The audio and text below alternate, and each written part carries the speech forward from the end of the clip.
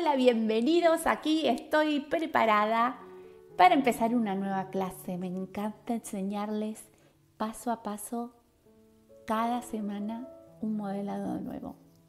Hoy vamos a hacer lechucitas súper, súper fáciles para hacer un montón. Yo la voy a hacer de este tamaño, que es bastante grandecita. Vamos a trabajar macizo, sin esferas de telgopor, ¿sí? Más o menos unos 7, 8 centímetros de diámetro, como si fuera una esfera 8, ¿sí? Ya que le gusta comparar las proporciones.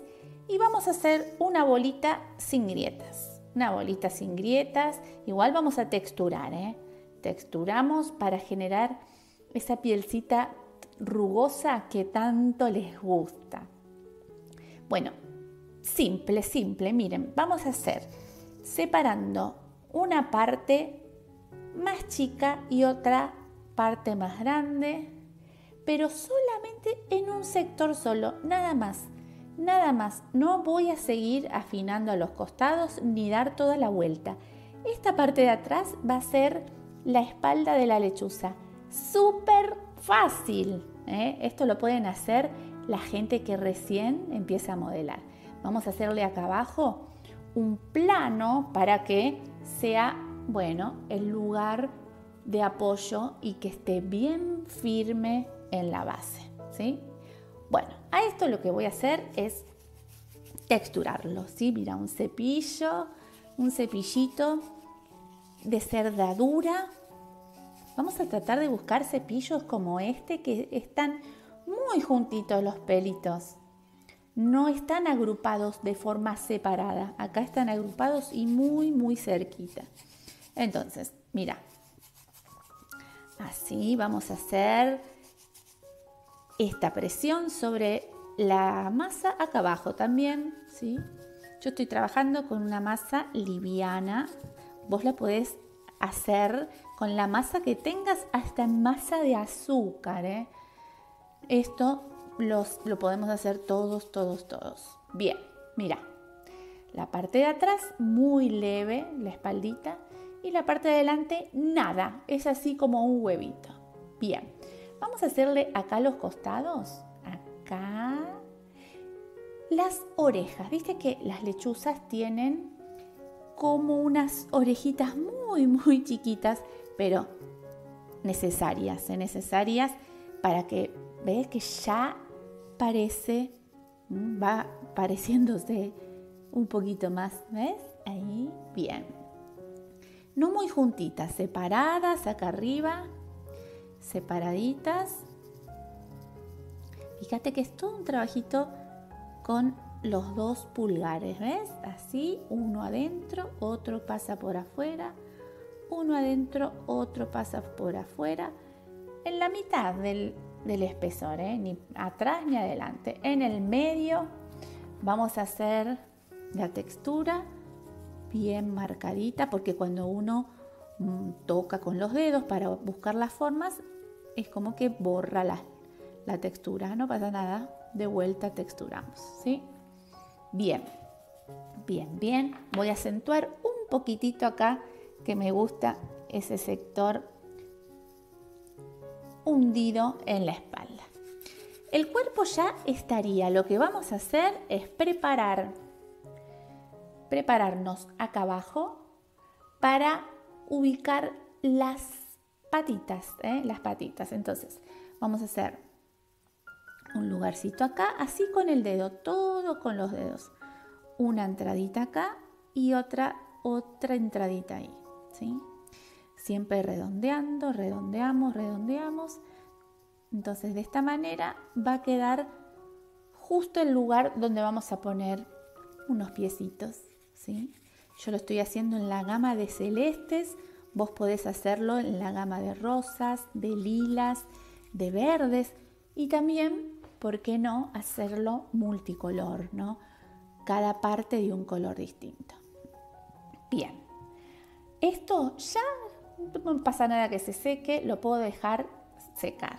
Bien, vamos a lo que serían los piecitos. ¿eh? Mira, vamos a hacer estos piecitos. Entonces, ¿Cómo se hacen? Así, dividiendo una parte más chica de una parte más grande. La parte más grande va a ser la que va hacia arriba, la que vamos a dividir. Dividimos para simular los dedos. Vamos a texturar, podés texturar antes de dividir los deditos, incluso también después. Mira, venimos así de atrás para adelante, haciendo dos cortecitos en diagonal. Vamos a borrar con la yema del dedo, así esto que ya lo, mira, de tantas clases que estamos teniendo, ya están aprendiendo lo que pueden hacer nuestra yema de los dedos. Son divinas. A la hora de trabajar suavizan todos los filos. Y no hay herramienta que pueda hacer ese efecto. ¿sí? Bueno, entonces acá vamos a ver la otra, que sean iguales de largo, eh, igualitas. Y las vamos a pegar acá. Cola vinílica, mira. Acá y acá cola vinílica y vamos a poner primero una que toque el piso, ¿eh? tengo que fijarme que haga contacto también con la base. Una y otra, a ver que hagan las dos contactos con la base. Entonces, si presiono un poquito y se me borra la textura, volvemos a marcar y ya estaría, ya estaría. ¿sí? Vamos a hacerle, mira, con los dos pulgares ya vamos a ir buscando el sector donde van a estar las cuenquitas de los ojos, fíjate. Eh, vamos fijándonos que sea un trabajo simétrico. Simétrico significa que de un lado yo esté haciendo, tratando de hacer lo mismo de un lado que el otro. Bien. Entonces, ahí, esto lo texturo, pero porque, por la costumbre de texturar, pero va a estar tapado. Ahora van a ver el trabajo que vamos a hacer en los ojitos. Vamos a hacer para los ojos. Mira, yo tenía este cortante, un cortante de circular con onditas, ¿sí? Si vos no tenés, lo puedes hacer, bueno, también se puede hacer circular, no pasa nada. Lo que le vamos a hacer es esto, mira. Unas marquitas, unas divisiones con alguna esteca que marque un filo como esta. Vamos a hacer así hacia adentro, hacia adentro. No importa que no llegue al final porque no se va a ver. ¿sí? Va a estar el ojo ahí. Entonces vamos a hacer este trabajito, uno para cada ojo. Y después un par también, pero un poquito más grandes, más grandes. Bien, entonces lo que vamos a hacer es esto, mira. Vamos a hacerle un poquito esta forma porque me gusta más que sea más ovaladita. En este caso me gustó más ovalada porque el ojo que voy a usar no es redondo redondo, es, es más ovaladito. Entonces, este efecto, este efecto está bueno hacerlo antes también puedes, podrías hacerlo así redondo, ¿eh? pero yo te cuento lo que hice en mi trabajo por si te gusta y lo quieres hacer igual, ¿eh? que es muy común que la gente quiera exactamente igual. Entonces te cuento todo lo que hago. Mira, vamos a poner cola vinílica, lo vamos a superponer, pero mira esto, no lo voy a poner centrado, lo vamos a poner un poquito desplazado hacia un lado, ¿ves? como que me sobran más plumitas de este lado y acá coinciden las dos. Lo mismo de este. Cola vinílica, vamos a ponerlo así en sentido vertical, las dos. Así, ¿ves? Sobra más de acá, acá están justitas. Entonces, vamos a nuestro trabajo. Ya directamente pongo cola vinílica porque una vez que presione, ya después no lo voy a poder sacar. Entonces, mira, vamos a ubicar primero tanteando, a ver, mira qué, plumas parece que tuviera. Vamos a hacerlo un poquito más abajo y esto también lo puedo levantar un toquecito más para que se luzcan las orejas. ¿eh? Levantemos un poquitito más. Eso, ahí, bien. Entonces, vamos así. Mira qué ojazos que va a tener. Y presiono, presiono, así, presiono. Bien, igualmente ahora voy a seguir presionando, pero ya con el ojo. Vos podés elegir ojos, los que quieras. Yo te muestro estos que me vienen bárbaro. Yo usé estos. Por eso usé este color para las patitas. este color medio tostado para las patitas y para el pico también. ¿eh? Pero podría ser también perfectamente este. ¿sí? Este modelito es el artículo 13 especial de mi línea de ojos, ¿sí? que me los hace Mariela López pero también podría usar estos, ¿eh? Todos quedan lindos. Vamos a usar estos otra vez porque ya tengo los piecitos, las patitas con ese tono. Entonces, mira, vamos a ubicarlos que estén a la misma altura, ¿sí? Así, mira cómo brillan, son divinos, son ojos 3D. ¿eh? tienen volumen, se pegan sensacional y vamos a presionar. Cuando uno presiona, es como que se abren las plumitas. Es un efecto re lindo. Entonces, no tengan miedo, ¿eh? presionen, al contrario, queda como más vistoso. Y a mí me gustan los ojos así hundiditos. Ya está, ya está, ya está. Lo que sí le vamos a hacer acá un espacio porque ahí le vamos a poner el piquito. Ojo, separamos las plumitas un poco, así. Y ahí le vamos a poner el piquito que es súper fácil. Muy, muy fácil porque fíjate. Vamos a hacer una lagrimita corta, cortita y chiquita, ¿sí? Y lo que voy a hacer es esto, mira dividir. Una parte para arriba va a ser más chiquita, otra parte para abajo va a ser más, no, perdón, para arriba más grande y para abajo más chiquita, así. Esto lo voy a texturar con el cepillito, todo texturadito, ¿ves? Si quieren le pueden hacer un poquito así para abajo, pero queda muy como de lorito. Bueno, no sé, esos son gustos de cada uno. Mira.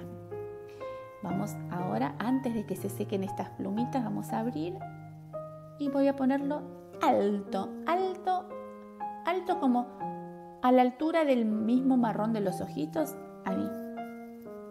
Presionamos. Presionamos. Mira qué cosita más linda. Bien. Ahora vamos a las alas. Las alitas que son también celestes, pero más oscuras. Mira, te muestro. Es el mismo tamaño del ojo, la parte grande, este cortante. Este cortante es este mismo, que vamos a usarlo de alas, ¿sí?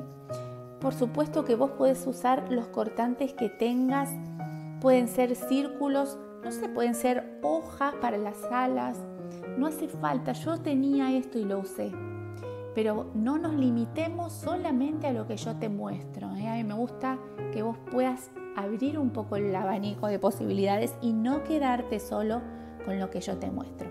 Fíjate acá lo que hice, son distintas. Vamos a hacer, empezamos por un centro, por el centro, acá digamos, ¿sí? por ahí, empezamos desde acá que es más fácil y voy a ir para un lado y para el otro pero no ubicando la dirección de la esteca en el centro, sino que me la imagino acá arriba. ¿Sí? Mira, así como que llegar arriba, pero no llega. ¿Ves?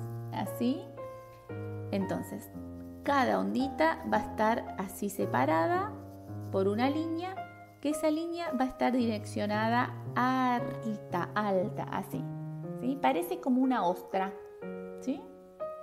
Bueno, entonces, lo que voy a hacer es pegar a los lados.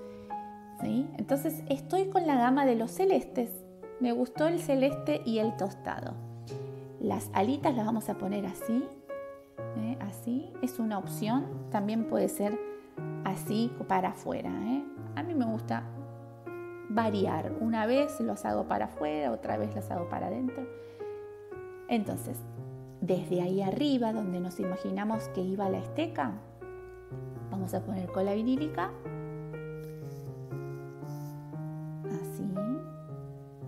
Y las vamos a pegar, mira. Detrás de los ojitos, bien altas. ¿Sí? Así. Mira qué hermosa. Fíjate. Ahí. Ahí, debajo del ojo. Está como que va a volar esta y esta también, que estén iguales a la misma altura. Eso. Presionamos, presiona donde le pusimos la cola milínica y después jugamos con qué estoy haciendo así, ¿sí? Bueno, ubicamos relajadas las, las alitas, ¿sí? Mira, yo te voy a mostrar otra que tengo en colores totalmente distintos, ¿sí? Esta es en la masa más pesada, la masa común. Estas alas quedaron más chiquitas, pero es un búho hermoso también. ¿sí? Podemos divertirnos cambiando los colores como vos quieras. Nos queda ahora ver con qué vamos a adornar. Bueno, mira, tengo un moñito de este material rústico, si te gusta este, si te gusta, bueno, lo que serían los moños de siempre, los moños de raso, pero me gustó, me gustó por la tonalidad que era la misma. Primero vamos a tonalizar y después lo vamos a pegar, así es más práctico. Mira, tengo acá dos tipos de celeste y vamos a probar cuál queda más lindo. Este es más intenso, este es más clarito. Empiezo por el clarito por las dudas, ¿sí? Entonces, ¿Qué sectores van a quedar más oscuritos? Los que están escondidos, los que, los que están como debajo de alguna forma que se superpone. ¿Ves? ¿Ves que queda más interesante? Así, acá arriba también. Todo lo que está escondido. Adentro de las orejas, claro, quedó un hueco, entonces lo vamos a tonalizar. Después, alrededor de los ojitos. Alrededor vamos a oscurecer, va a dar más sensación de profundidad. Ya sabes que todo lo que es oscuridad genera más profundidad. Y después, si querés, así en cada división. Después, estoy con el clarito al final. ¿eh? Se superpone estas plumas sobre las de abajo. Entonces, vamos a hacer esto de oscurecer la superposición, ¿sí? Eso está buenísimo. Eso está buenísimo. Acá. Después acá. Yo estoy haciéndolo todo en fresquito, ¿eh? Ustedes pueden dejar secar. Ojo con el dedo acá cuando agarremos, no presionemos. Un poquitito acá. Otro poquitito acá. ¿Ves? Y ya como que se va enriqueciendo. Entonces, ahora sí, cuando terminamos, lo que voy a hacer es, bueno, como es celeste y me da la sensación que es para un varoncito, lo que voy a hacer es pegarlo acá. Lo pego ahí. Voy a usar mm, algún pegamento muy potente, ¿sí? Así, un poquitito. Vamos a poner el moño cuidando de no pegarnos los deditos. Enseguida se pega lo que es la porcelana a otro material, al papel, a la tela, a las cintas. Se pega bien, bien rápido. A ver que las alas estén bien pegaditas. Bien. Y después le ponemos este, que ver, ¿sabes qué? Conviene dejarle el alambre un poquito largo para que después uno lo pueda clavar en la misma masa. Y mira este detalle que me muero de amor, que bueno, yo los tenía, tenía estos anteojitos, ¿sí? Que me encantan, son de verdad chiquititos, así. Bueno, entonces esto no es fundamental, ¿no? Por supuesto son ideas, si vos las conseguís, esto hay que pegarlo mejor. Si vos los conseguís, bueno, lo que yo hice fue abrir, abro, abro, abro para no lastimar y entre medio de las plumitas puse ahí y después cortamos el excedente. Pero mira lo que es. Yo estoy enamorada de la masa, por supuesto, y de lo fácil que es trabajar. Mira, está toda fresquita. Si yo quisiera, le saco todo y hago las bolitas de vuelta. Pero ¿ves lo que es? Bueno, yo eh, le dedico esta, esta lechucita a una señora que quería hacerla para su nieta. Ahí me lo pidió encarecidamente que sí lo podía enseñar y claro que sí, acá estamos. Espero que hayan aprendido, que hayan disfrutado y que me muestren todas las lechucitas que van a hacer este fin de semana.